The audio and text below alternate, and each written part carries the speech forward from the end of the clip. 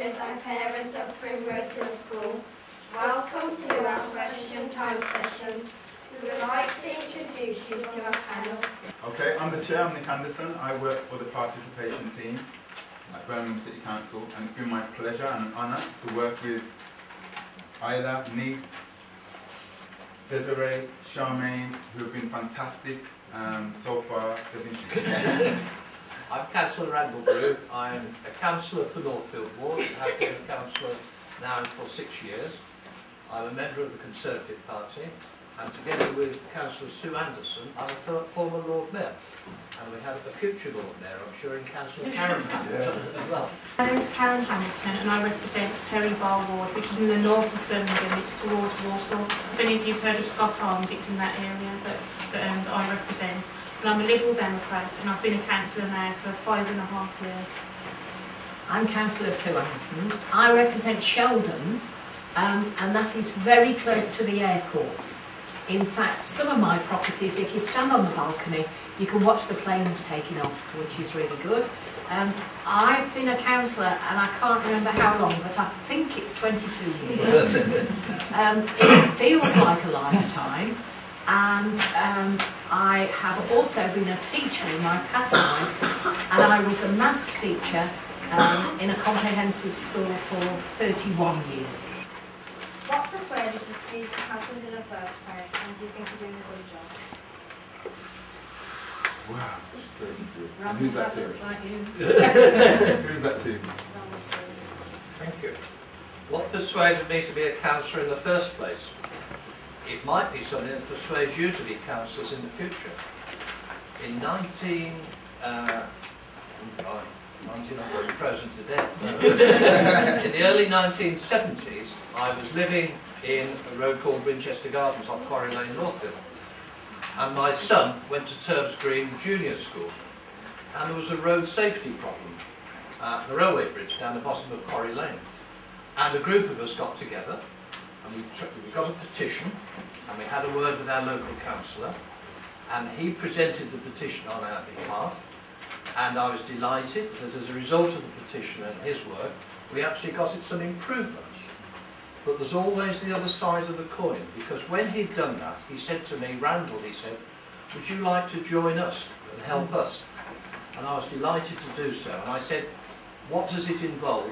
And he said, it doesn't involve much. And that's the biggest lie I've ever heard. but I enjoy, I've enjoyed it. Do I think I'm doing a good job? I leave that up to other people to judge. And uh, I'm standing for election in May, and the, the electorate in Northfield will decide whether I'm doing a good job. The question, there's a lot of underage drinking on the estate. What is the council doing to stop it? If you'd like to answer that one.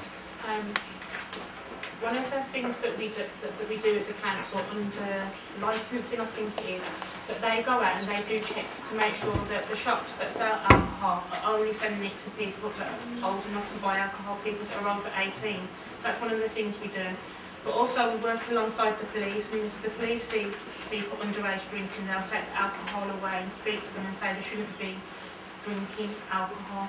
So those are two things I can think of. Maybe the other two councillors might know something else that's done. We've got another question from Miss Clark, teacher here.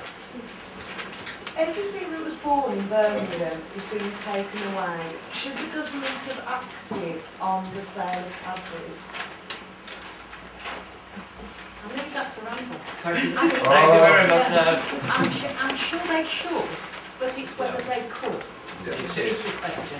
I, I come from Northfield, where we had MG Rover and Austin Motor Company, so this is very close to my heart. I grew up in that area. But I think we live in a world economy now, and with Cadbury's, we have to recognise that 60% of the company now, before the takeover, is owned by people in the United States of America, and so they have bought it. I think it is important to own businesses, and we own a lot of businesses abroad. British people have invested abroad. And I think the important thing from a Birmingham point of view is actually to have the resource here, the factory and the manufacturing that creates the jobs and creates the wealth. And I think that's what we need to protect.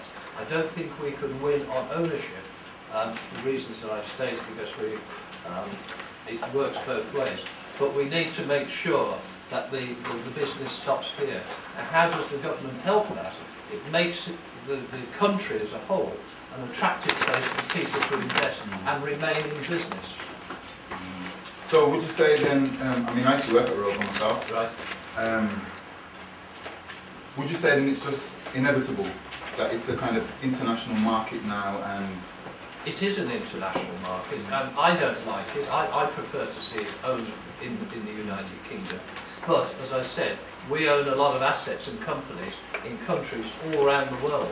And so it, it is, you have to look at the larger picture. So on a local level, there are things the City Council can do. For example, when a new store is being built or when the Bullring was developed, it was possible for us to ensure that many of those jobs went to local people. So we've got limited powers, but whatever powers we have got, we do try to use them in that very positive way. Um, and there's an example, uh, this was a few years ago, where um, a housing association, the city council, formed a partnership uh, with one of the colleges uh, where they were teaching building school skills. And we had a group of young people in their 20s who wanted their own home.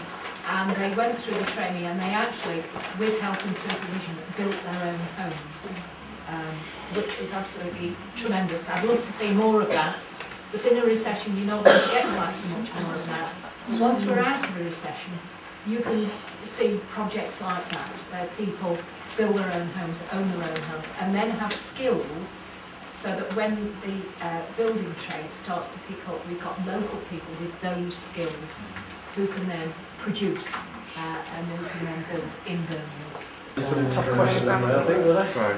were indeed, and I mean we're, we're listening to the citizens of tomorrow, and, uh, and I see young people like this in an audience like this. Thank I you very know much. the future is safe. Take yeah? I think it's important that they understand the interaction they can have with the world around them, and especially with politics, because a lot of people think that you have to be a voter to be able to influence what's happening in the council. We should be reaching out to everyone.